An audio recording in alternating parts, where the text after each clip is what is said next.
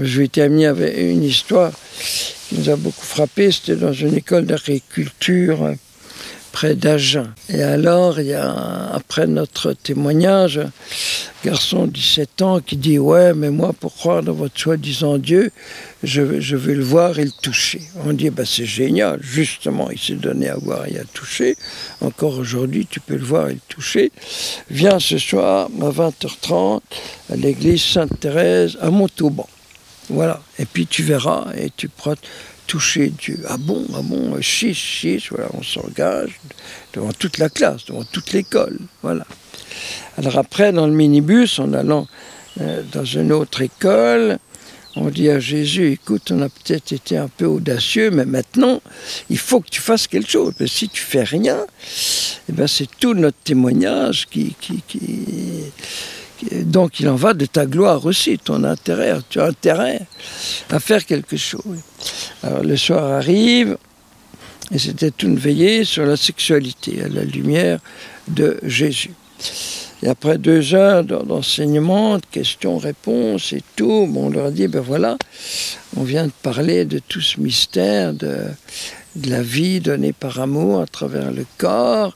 Vous avez le droit de voir celui qui est l'amour, qui donne la vie à travers son corps, ce que les cathos appellent dans leur bizarre jargon techno l'Eucharistie. Voilà, l'Eucharistie.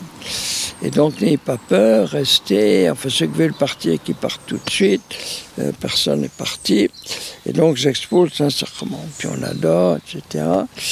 Et puis à la fin, je, euh, avec l'ostensoir, je, viens bénir chacun. Ils étaient 200 à peu près, donc 200 petites bénédictions.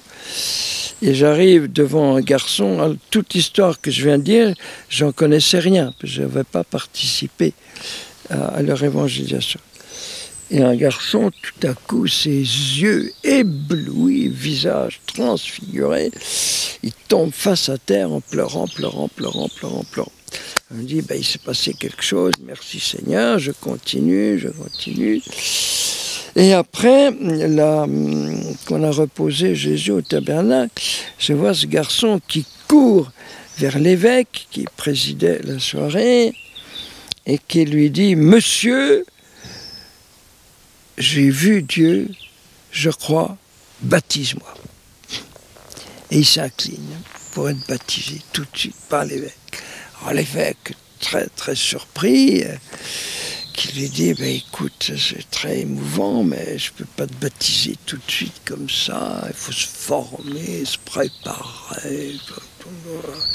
Finalement, il sera baptisé trois mois après, mais le lendemain, il a témoigné dans toute sa classe. Ce que les jeunes, jeunes, jeunes nous ont dit, ben moi je vous dis que c'est vrai et, que ce que les cathos appellent l'Eucharistie, c'est vraiment Jésus, j'ai vu le visage de Jésus. Et donc c'est très beau, c'est la conversion, et il devient tout de suite un précurseur, un évangélisateur. Et ça a eu un impact dans toute l'école, bien plus que tout ce que nous on avait dit. Mais si nous n'étions pas passés, il n'a peut-être jamais connu de toute sa vie.